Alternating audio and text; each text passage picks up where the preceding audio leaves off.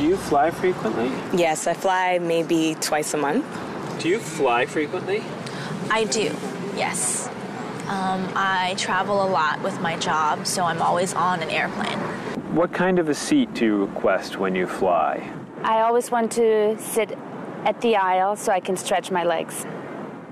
I prefer to sit in the back of the plane in a window seat. I always get a window seat. Why? I like to sleep and I need something to lean up against.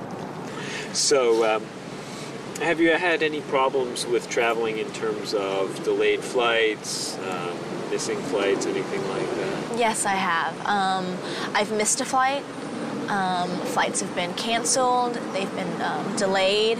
Um, I've had to either go home or if it's in a city that where I'm not from, I've had to get a hotel.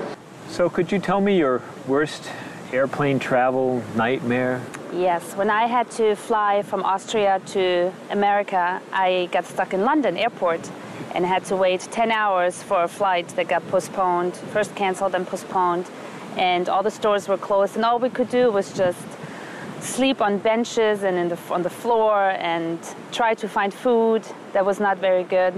So it was not a good experience. Yeah, that sounds awful. Yes, it was awful.